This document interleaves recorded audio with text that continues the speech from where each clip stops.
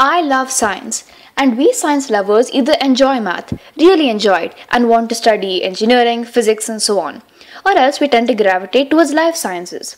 A bit unfortunate because things get interesting when math meets biology.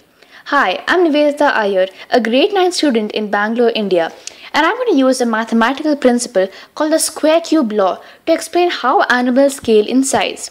It'll answer questions such as how scary is an 800 pound gorilla? Does a cockroach have lungs? And how many calories does an elephant consume compared to a guinea pig? The square cube law of scaling states that when an object undergoes a proportional increase in size, its new area is proportional to the square of the multiplier, whereas its new volume is proportional to the cube of the multiplier. That's a lot of words, so let's break it down.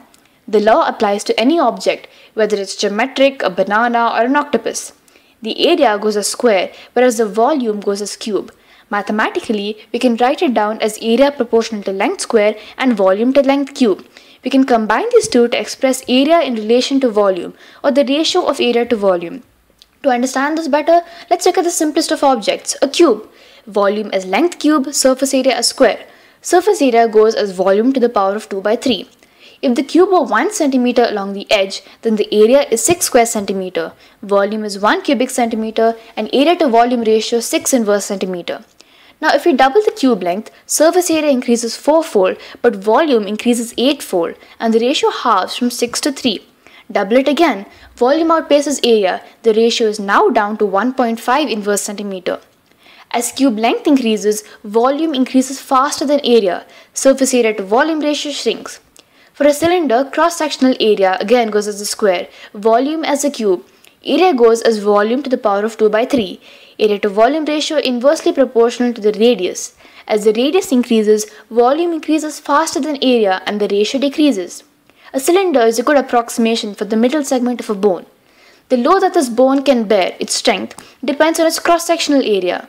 Now, if this were a gorilla bone, say a femur, then the load that it must bear would depend on the weight of the gorilla and thus its volume.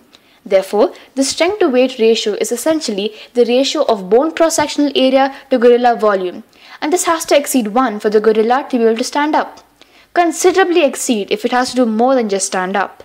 The largest male gorillas in the wild weigh about 400 pounds, so the mythical 800 pound gorilla would imply a volume factor of 2. The area factor would be 1.59. Therefore, the strength to weight ratio for an 800 pound gorilla would put it at a whopping 20% disadvantage.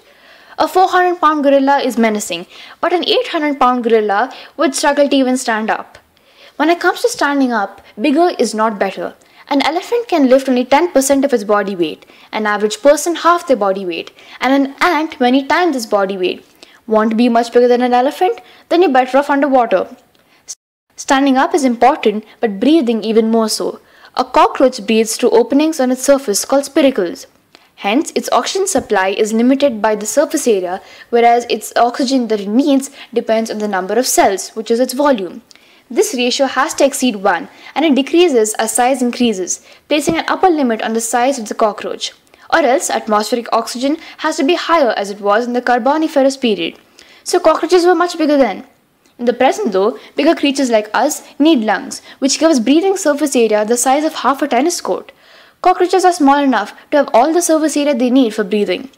Breathing is for metabolism, Tissue culture experiments with cells from mammals shows that whether the cell is from a guinea pig or an elephant, all mammalian cells have the same metabolic rate.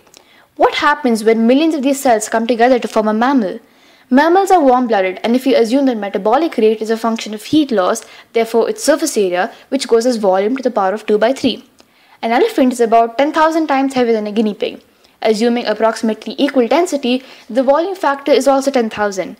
Applying the square cube law, we get the area factor as 10,000 to the power of 2 by 3 or 0.67 which equals 464. Actual experimental data gives us a power exponent closer to 0.75, so the metabolic factor is not 464 but closer to 1000. The 0.75 exponential relationship is called Kleiber's law and we got close to it with just our simple square cube law of scaling. To derive Kleiber's law, we need to use a more complicated math theory called fractals. It indeed gets interesting when math meets biology. Thank you for watching.